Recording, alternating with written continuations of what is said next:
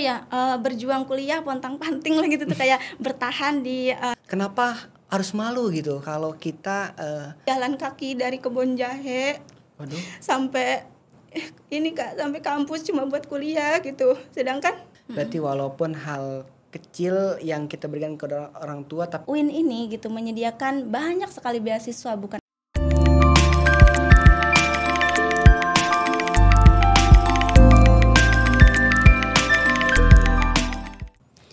Assalamualaikum warahmatullahi wabarakatuh. Kembali lagi dengan saya Bia Giovanni dalam podcast Sikap Sarana Informasi Kampus UIN Sultan Mona Hasanuddin Banten. Halo para penonton setia Sikap di mana pun kalian berada semoga tetap diberikan kesehatan. Amin ya robbal alamin.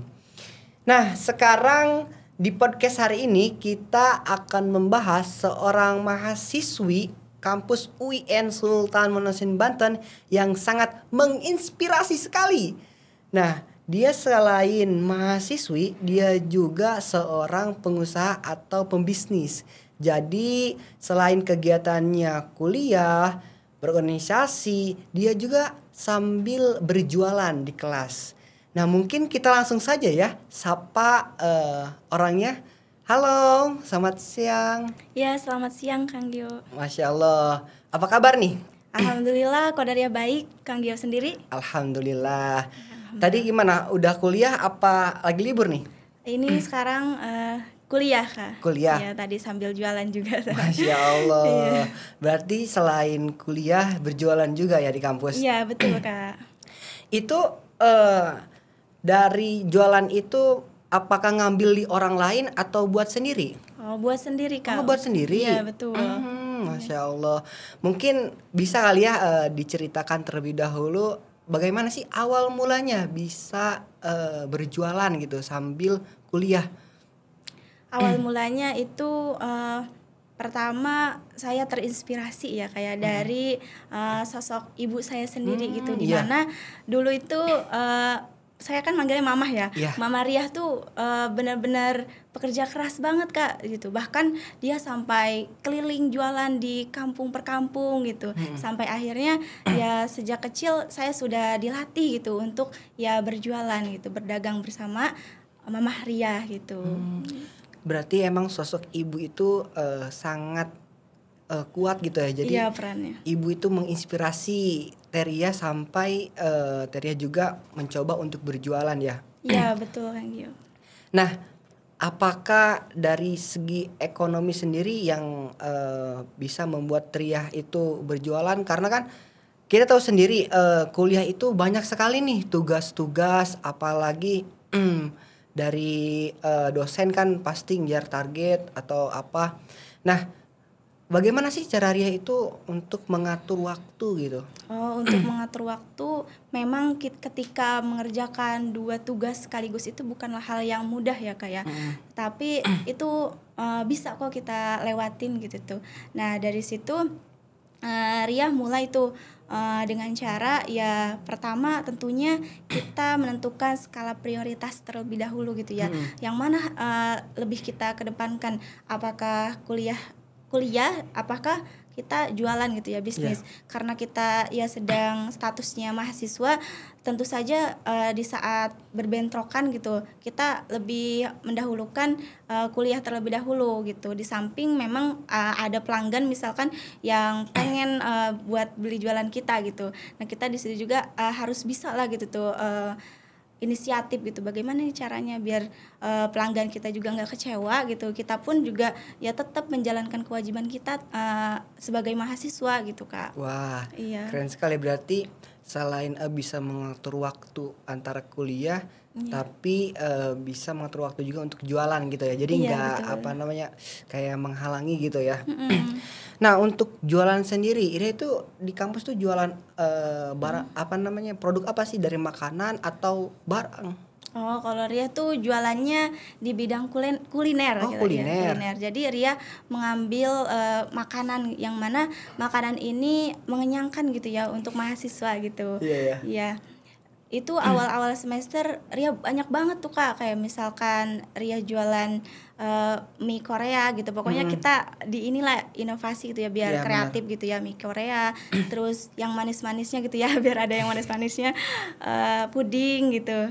Terus Ria jualan mulai dari situ Ria inisiatif lagi apa ya gitu ya yang uh, kreatif yang belum uh, dijual oleh banyak mahasiswa lain yang jualan juga gitu. Nah di situ ada citul tuh Ria. Lagi scroll scroll gitu kan uh, Iya. ngelihat apa sih di media sosial. Oh ini nih kayaknya cocok kata Ria. Soalnya di kampus UIN tuh belum ada gitu citul gitu. Citul itu kepanjang dari uh, aci dan tulang gitu. Isinya ayam kak. Citul itu ya, aci dan tulang. Iya itu dari aci sendiri tuh bisa dibentuk paha paha paha ayam gitu Hmm. padahal itu KW gitu tapi mirip banget sama paha ayam beneran Berarti selain eh, dari Citul tuh banyak sekali produk-produk yang Iya. eh, udah ditawarkan ya. Iya seperti kayak corn dog juga corn dog isi sosis tuh banyak tuh dari situ itu lagi cilok gitu di variasi lah biar para pelanggan tuh nggak bosen gitu sama jajanan kita Itu hasil bikinan sendiri atau dibantu sama orang tua? awalnya sih jujur ya sendiri gitu nah karena eh, makin ke sini makin ya banyak tugas kuliah yang Iya. harus kita handle kayak penelitian gitu ya segala macam harus terjun ke lapangan lah ke masyarakat gitu. Jadi ya dibantu sama keluarga kak gitu. Kayak Mama Ria gitu terus Teteh kemudian adik-adik Ria juga sering bantu gitu kalau misalkan bisa gitu jadi Ria cuma ngejualin Dijualin. Berarti itu eh, Ria tuh sudah jualan sejak maba ya, sejak semester 1 Hmm, apa Kalau gimana? semester 1 sih belum ya karena kan Ria masuknya angkatan corona Waduh. 2021 itu masih online, masih online. Dari situ eh, ya udah nih paling jualan kayak di all shop all shop gitu ya. Hmm, iya. Karena emang basicnya dari dulu udah dilatih sama orang tua itu buat eh, wirausaha gitu. benar. Jadi ya udah gitu ambil peluang itu gitu. Paling pertama mah all shop, terus makin ke sini kan udah mulai tuh ada tetap muka walaupun emang terbatas gitu ya Iya. di corona itu. Di semester 2 kan mulai itu. Oh, semester 2 Iya berarti jadi mulainya. ngambil dulu tuh awalnya ngambil dari ya temen yang punya ya yang punya usaha lah gitu ya Iya. di rumahnya. Kayak misalkan keripik pisang gitu ya. Keripik pisang yang varian rasa itu itu kan sangat jarang sekali dulu mas. Sekarang udah banyak. Iya, sekarang udah Iya, ya udah itu Ria jualin aja tuh ngambil keuntungan. Misalkan dari sananya berapa gitu. Iya, benar. terus Ria eh, jual ya lebihin lagi kan boleh ya itu sistemnya. Yang penting ya harganya masih pasaran gitu. Hmm, gitu ya. Jadi setiap eh, semesternya itu ada inovasi-inovasi baru gitu ya Iya, dalam. Karena emang eh, mahasiswa itu kadang bosen, cepat bosan. Iya. Keren banget sih ini. nah, eh, Ria, untuk pan pasti ketika berjualan itu apalagi seorang mahasiswa yang di mana ego ataupun gengsinya tinggi. Nah, Iya. mungkin tantangan tersendiri nih yang terberat bagi ketika jualan nih apa nih? Oh, kalau tantangan tersendiri sih yang terberat tuh bukan rasa malu atau gengsi justru Iya. ya kayak justru yang tantangan terbes- terbesar itu menurut aku tuh ini kak. Eh, bisa membagi waktunya tuh. Jadi apa ya susah gitu kak. Sulit bagi waktunya. Ya walaupun eh, bukan berarti tidak bisa kan sulit Iya. itu bisa gitu ya. Iya itu membagi waktu gitu. Kalau misalkan untuk gengsi eh, udah enggak sih kak. Karena kan dari kecil ya udah diceritain dari Hmm, awal iya. tuh kan udah ikut-ikutan gitu ya sama orang tua gitu jualan. Jadi ya udah biasa aja gitu. Kalau misalkan eh, jualan ya pede aja gitu. Walaupun emang di sekitar kita liatin kita karena kita berbeda gitu. Dari berbeda itu eh, justru Ria nggak mikir apa ya tanggapan atau ya anggapan dari mereka mau itu positif atau negatif ya nggak apa-apa gitu karena kan emang eh, niat kita baik gitu nggak apa ya ganggu aktivitas mereka juga sih Iya. gitu. Nah mungkin kan eh, pasti setiap eh, kita jualan tuh pasti ada aja temen yang sirik ataupun temen yang eh, nggak suka kita. Ada nggak sih temen ketika kita ini jualan nih suka ngeledek atau apa nih? Apalagi nih anak-anak kuliah nih gimana nih? Iya, ada sih kak gitu. Tapi justru eh, perkataan apa ya, ya celetukan yang emang bikin nggak enak di hati, nggak enak didengar gitu. Itu dijadiin motivasi sama Kodariah gitu Wah, ya. keren. Iya, kata-kata kata kata-katanya begini. Misalkan eh, udah sih kamu mah nggak usah masuk kelas gitu ya. Udah kamu mah jualan aja biar dapat uang. Masuk kelas mah nggak bakalan gitu ya eh, dapat uang gitu.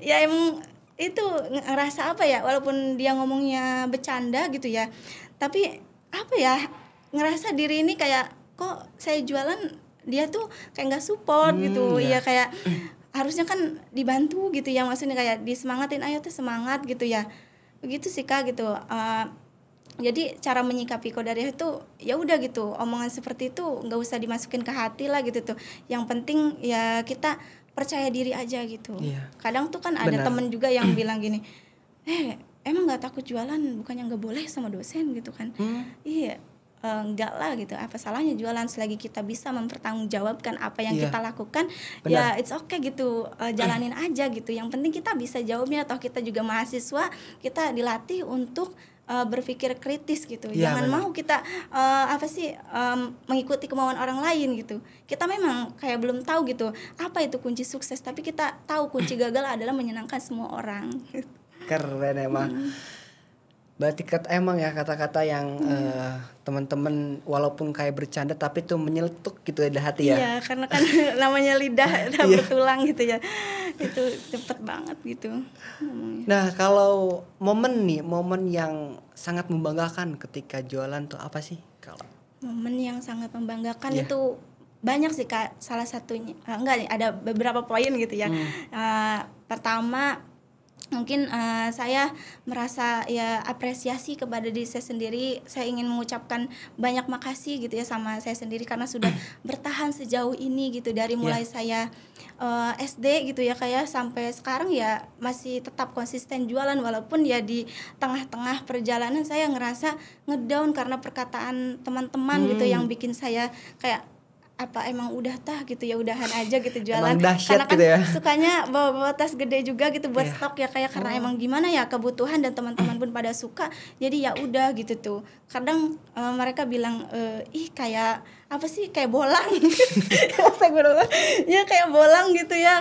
Ini katanya bawa-bawa tas gitu tuh gede gitu tuh. Kan yang lain mah ada juga eh, jangankan gitu tuh bawa tas gede gitu. Buat buku aja kadang mereka di apa sih dibawa gitu ya pakai Iya. tangan gitu justru tasnya itu yang kecil itu isinya make up gitu astagfirullah gitu ya ya Allah jangan sampai gitu tuh kalau riah mah gitu jadilah diri sendiri gitu ya kak gitu berarti itu tasnya itu dalamnya makanan gitu ya, ya Iya, jualan gitu. Iya walaupun emang makanannya banyak juga Ria nggak ngelupain kewajiban Ria sebagai Sebagai mahasiswa, mahasiswa. yang emang di dalamnya ada buku, pulpen gitu. Justru Hmm.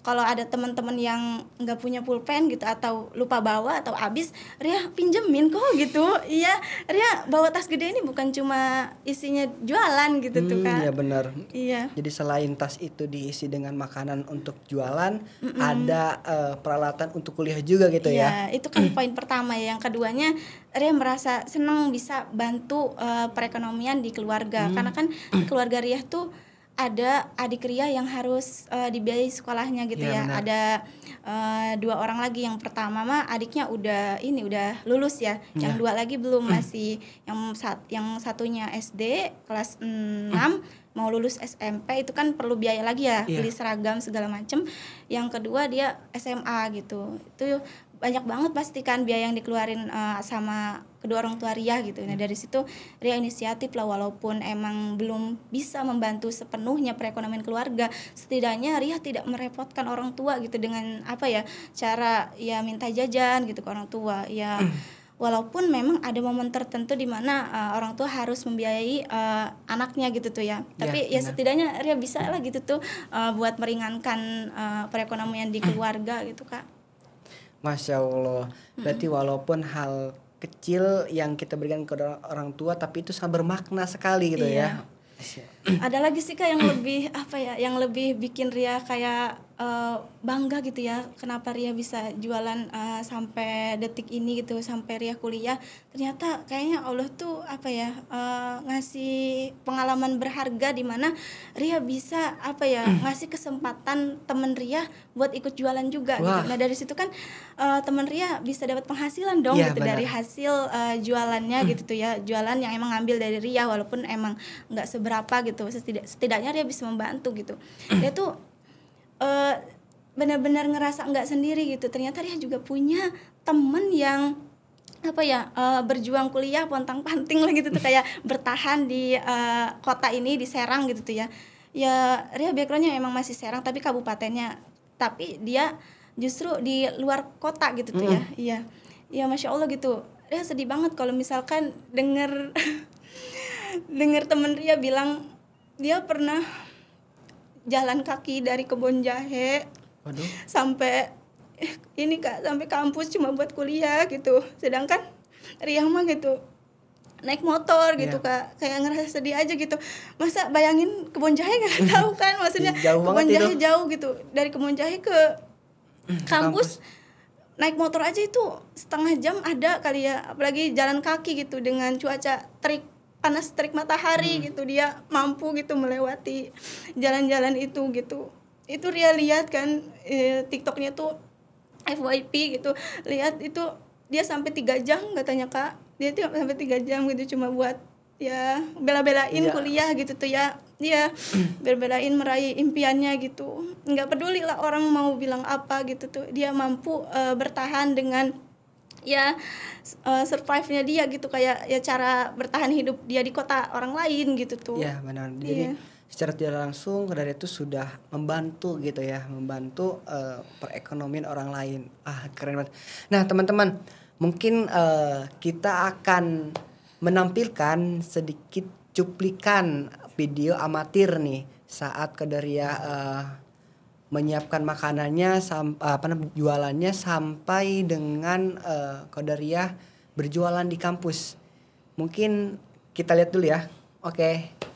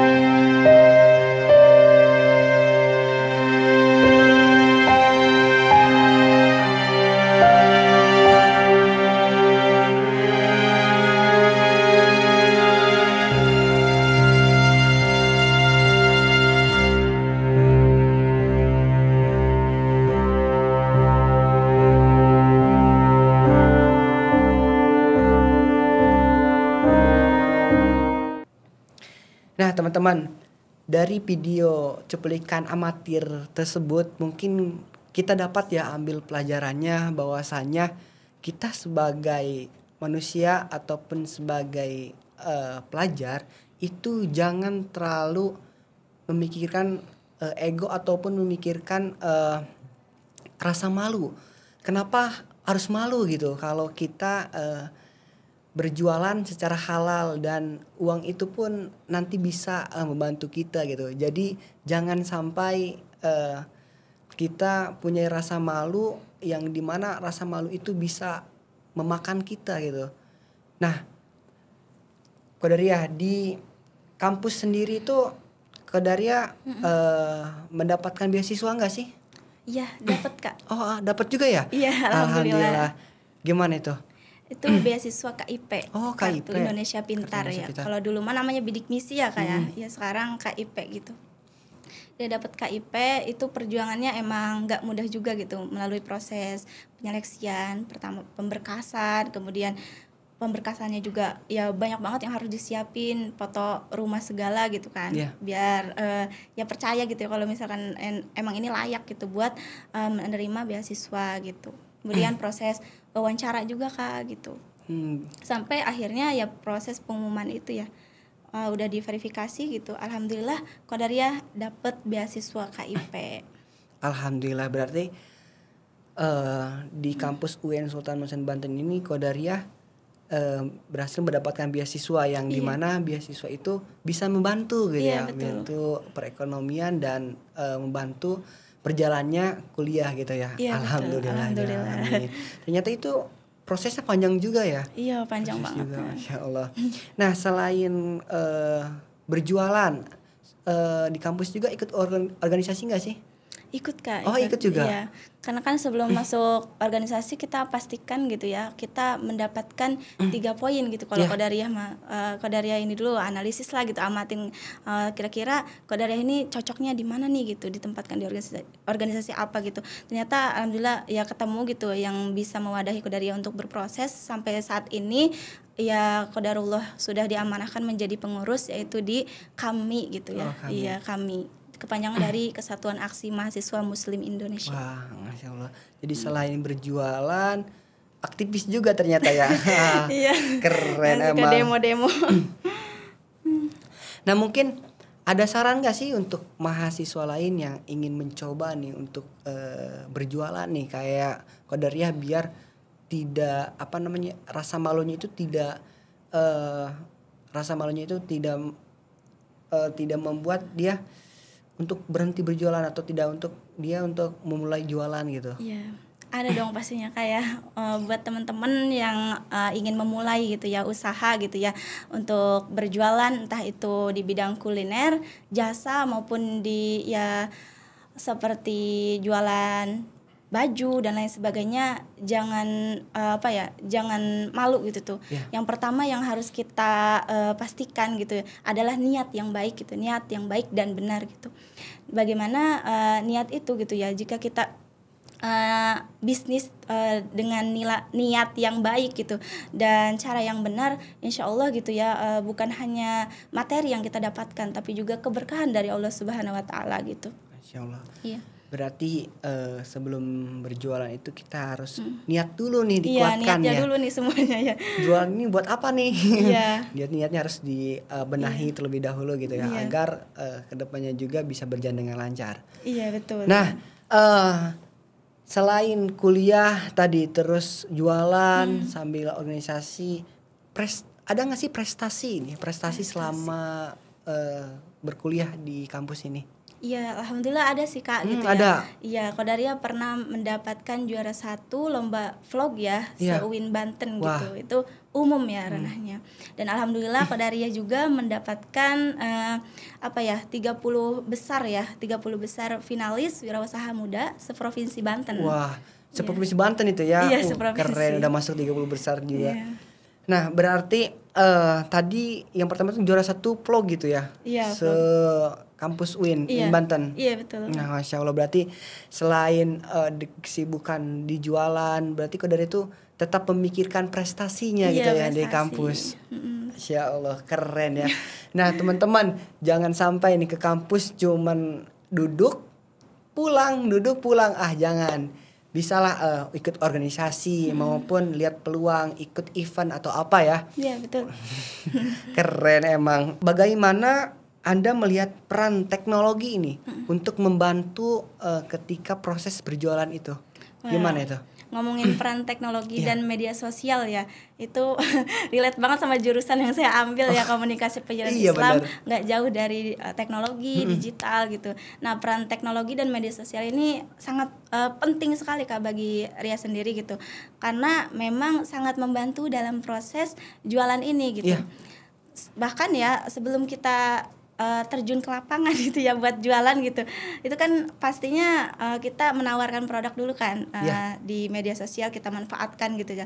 Alhamdulillah banyak gitu yang berminat gitu ya yang mau gitu uh, nyobain produk kita gitu sebelum memang produk Kodari ini uh, terkenal gitu ya di UIN ini gitu coba mau dong gitu kan misalkan order sekian gitu. Jadi uh, memudahkan kita gitu ketika Ya. kita uh, sampai di kampus membawa tentengan gitu ya jalan mereka udah kayak nungguin gitu antusias gitu. Bahkan sebelum nyampe pun banyak tuh uh, chat yang masuk teh udah nyampe mana? gitu kan. Teh lapar nih gitu kan. Teh udah pada nunggu teman kelas. Pokoknya saking banyaknya itu chat sampai bingung mau balesin yang mana dulu gitu. Alhamdulillah Iya. ya. Berarti teknologi itu sangat membantu sekali ya Iya, dalam hal membantu. promosi, berarti promosi promosi. Jadi eh, sebelum berangkat kuliah sekarang tuh alhamdulillah udah banyak yang pesan terlebih dahulu ya. Iya, gitu. Alhamdulillah. Nah, mungkin ada eh, pesan atau kesan dari Qadariyah eh, Iya. kepada kampus kita tercinta yang alhamdulillah kan Qadariyah tadi mendapat beasiswa. Mungkin Iya. ada yang disampaikan. Ada sih kak. Eh, pertama tentunya mengucapkan terima kasih yang sebanyak-banyaknya gitu karena sudah menjadi eh, eh, wadah gitu untuk berproses eh, saya gitu. Sudah menjadi perantara untuk eh, menggapai atau meraih impian saya gitu atau cita-cita saya gitu. Dengan adanya beasiswa ini eh, beasiswa KIP saya bisa apa ya kuliah dengan ya tidak memikirkan eh, UKT gitu maksudnya ya. Tinggal fokus belajar gitu ya walaupun teman-teman kita banyak di luar sana yang emang ke kesu- kesulitan tapi jangan sampai itu bikin kita nyerah gitu aja gitu. Kita harus tetap berusaha gitu ya semaksimal mungkin gitu tuh untuk eh, meraih impian kita gitu. Nah, mungkin eh, ada pesan nih untuk adik-adik kita yang mau masuk ke UIN tapi dia eh, sulit untuk eh, kayak biaya kayak gitu. Mungkin silahkan, boleh? Oh, Oke, baik. Untuk eh, bagi kalian eh, calon mahasiswa baru yang masih mungkin bingung mau kuliah di mana atau mau ke UIN tapi eh, biayanya nggak ada gitu. Jangan sampai teman-teman eh, khawatir gitu karena di UIN ini gitu menyediakan banyak sekali beasiswa bukan hanya KIP gitu, tetapi banyak sekali ya eh, bahkan lebih dari 10 lah gitu tuh. Jadi teman-teman jangan sampai berkecil hati kalaupun tidak dapat eh, membayar beasiswa, insya Allah di kampus UIN ini adalah kampus yang terjangkau dalam segi beasiswa karena memang menyesuaikan dengan perekonomian kita gitu. Masya Allah. Nah, berarti teman-teman yang mau masuk ke UIN Sultan Manasani Banten, jangan dulu menyerah kalau tidak ada ekonomi karena di kampus UIN Sultan Manasani Banten sendiri itu banyak sekali menyediakan beasiswa-beasiswa ya. Iya, betul. Contohnya kan tadi kode yang alhamdulillah dapat beasiswa KIP. KIP, ya yang bisa membantu selama eh, perkuliahan Iya, ya, betul. Masya Allah. Alhamdulillah Amin eh, kita sudah ke penghujung acara ya yang tadi kita sudah berbincang yang setengah jam mungkin kali ya. Dan banyak sekali pelajaran-pelajaran yang eh, saya terutama yang dapatkan. Jadi untuk eh, teman-teman yang tentunya penonton setia sikap eh, janganlah terlalu eh, memikirkan sesuatu yang eh, tidak mungkin. Jadi eh, cobalah dulu gitu. Siapa tahu dengan kita mencoba nanti insya Allah jalannya ada ya. Iya, betul. Jalannya ada dan kalau kita berusaha eh, melawan rasa malu itu dan melawan omongan-omongan orang lain yang tentunya bisa menjatuhkan kita, mungkin itu jangan terlalu didengarkan, jadikan motivasi gitu ya. Iya. Karena tadi tuh saya mengutip bahwasanya kunci, kunci kesuksesan itu tidak ada tapi untuk kunci eh, kegagalan itu berusaha memberikan kesenangan kepada orang lain gitu ya. Ke semua orang. Ke semua orang. Masya Allah. Nah, sebelum saya menutup eh, podcast pada siang hari ini, jangan lupa nih teman-teman untuk nge-like dan nge-share ke teman-temannya agar video ini bisa ber- bermanfaat bagi orang banyak. Dari saya Bia Giovanni, akhirul kalam. Assalamualaikum warahmatullahi wabarakatuh. Waalaikumsalam.